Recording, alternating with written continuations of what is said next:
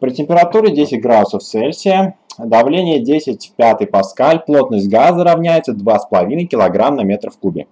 Какова малярная масса газа? При решении этой задачи следует воспользоваться уравнением состояния идеального газа, которое записывается как ПВ э, равняется ν РТ. Вот. Дальше э, расписываем, что объем это у нас будет масса. Масса, соответственно, на ρ, на плотность. И также э, записываем температуру. Вот. Э, температура у нас будет равняться... А, и также ню сейчас запишем. Это будет масса на малярную массу. Это от чего? Э, выражение, которое у нас здесь дано, преобразуется к выражению Pm на ρ равняется так, на R от T, э, где R это газы постоянные. Универсальный газы постоянные, а это уравнение Клапейрона, которое мы сейчас записали. Ну что ж, идем дальше преобразование. А найти нам надо необходимую малярную массу. И мы записываем в результате. Малярная масса будет равняться ρ, m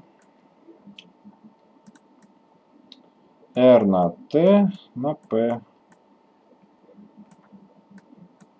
RT так.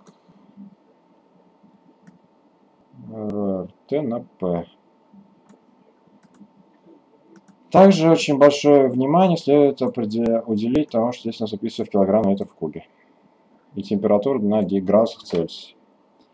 Перед тем, как записать величины, мы запишем, что температура в кельвинах, то есть 273 плюс 10 э, э, градусов Цельсия, получается 283 кельвина. Потому что все величины здесь даны в кельвинах. Это нетривиальный момент. Чувствуете, что молекулярная масса будет равняться 283 на 2,5. Ну, эти, которые я поставил, то есть 2,5. Универсальные газы я поставил 8,31. Кстати, я тут не буду писать всякие там э, кельвины, килограммы, да? Но учтите, что здесь метров в кубе работаем. И в литры переводить не стоит. Э, потому что, соответственно, давление дано в паскалях. Паскалях э, температура в кельвинах, плотность газа, килограмм в кубе. А постоянный универсальный джоуль на моль на кельвин.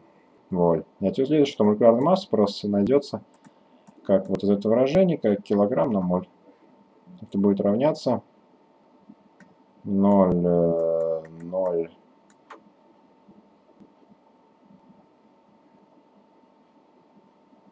пятьдесят восемь килограмм на моль.